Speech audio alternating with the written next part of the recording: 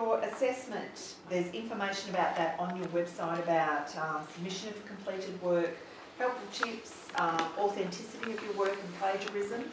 extensions, should you require one, please apply for them four days prior to the due date. Your class attendance, you're required to attend 80% of each unit. Employability skills is part of what we will be assessing you on as well. We identify those employability skills through observations, through your discussions, um, through your um, communications with us via email, all those sort of things. So please do those as much as possible in a professional and respectful manner.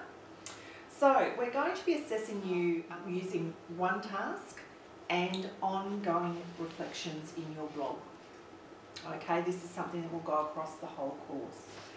I will be assessing your first assessment task and I will return those to you after you've submitted them marked. The reflections will be checked by each individual trainer at each unit where we've prompted you to do that reflection about that unit. You will also be assessed on workplace assessments, so that includes those workplace activities um, that you're going to be listing on your website. Um, again, the grade is satisfactory or not yet satisfactory, and should you require assistance, please let us know. You can contact your tutor, student support, or the coordinator. Um, we are more than happy for you to just approach us and just say, look, I'm having some issues with this, or um, what do you mean by that question?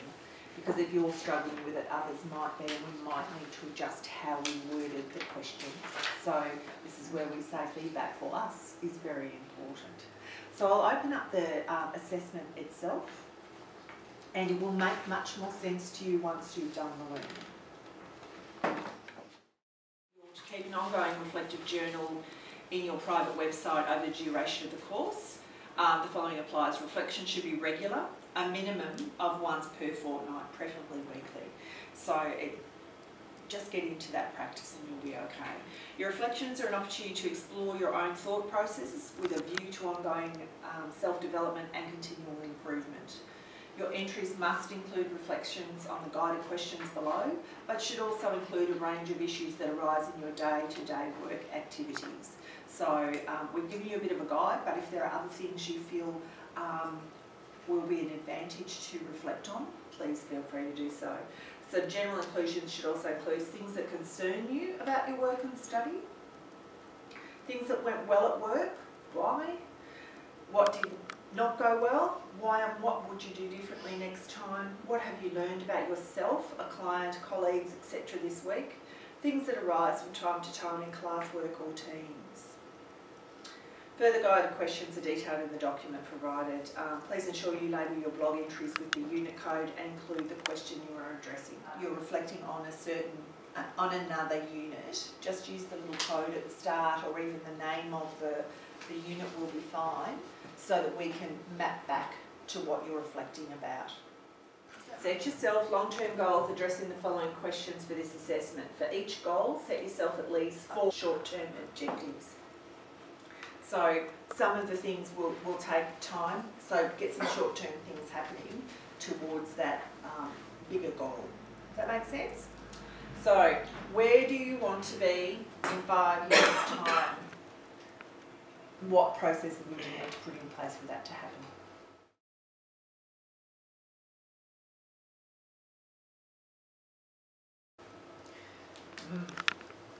So, what steps will I need to take to get there? How can I improve or strengthen my work performance? So look at what you're doing now, how can I strengthen that?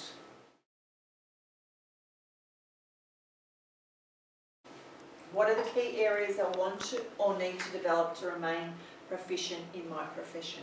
So it's really looking about your professional plan. What improvements could we make? Who would I consult with to understand the key areas in which I need development? So it might be doing that appraisal, getting that good information back and using it. What are new skills and knowledge I will need in the future? So you have to be a bit aware. of what skills you have as to what skills you need to develop. Where can I go or what can I do to help me get these skills? So what sort of, it might be doing a course, it might be sitting down with a mentor, it might be something similar to that. What are the emerging industry developments I need to be aware of to ensure improvement of my own practice? So it's being aware of what sector you are in, what sort of things you need to be aware of to keep things on the go. There are often changes in our training. How do we keep up to date with that? What sort of um, ongoing support or training do we need to continue that? So how do we go about it and what what's my role in it and what sort of things do I need to know to be able to assist in the development of that. Uh, what ethical and legal requirements should I be aware of in the development of my goals? So that policy really sits within that framework of making sure that we have all of that information. It's a requirement of our organisation to make our staff aware of where we sit in relation to child protection. When and how will I engage in the review processes in relation to upgrading my skills and knowledge? So we've made a plan. When are we going to do it and how? After determining the key learning areas in which you want to focus, develop specific and measurable goals in which to pursue. So you need to be able to measure it. So very similar to, I need to maybe learn how to use my computer better. So your measurement may be, I can now independently develop a complex Word document or formulate a report. It has to have a measure to it. I've got attached templates I will show you, or you can create your own. This is just a basic one. If you feel that there's something else you want to add, please feel free. This is about you. It's not about how I've set it up as a suggestion, it's about how you would make it right for your particular situation. Facilitate your goal setting process to document your results and to track your accomplishments for the next five years. So make sure you include four long-term goals. So we want four goals over the five-year span. At least four short-term objectives for each of those goals. So what little steps do I need to take? Uh, include projected timelines. So how, when will this happen?